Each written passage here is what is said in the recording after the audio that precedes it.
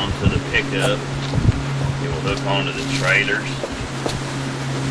or the semi truck. You can actually load your long panels on there and some short ones.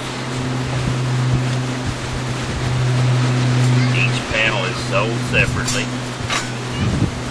You just build however big of a set you want to build. This trailer will actually hold 12 long ones, 12 short ones,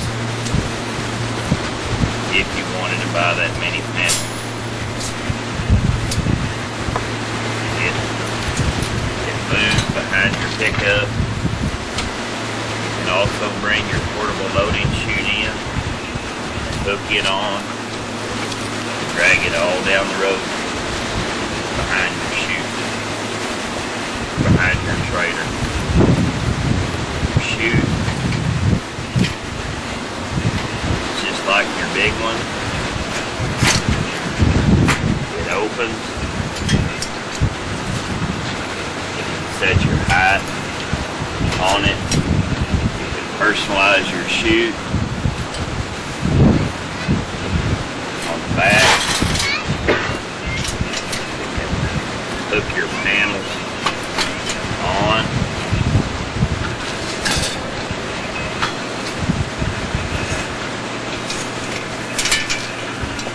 Either direction. So when you get around to the side that they'll all pin together. These chains are actually fixed where you can hook onto a corner post or a gate or something if you didn't want to hook it into your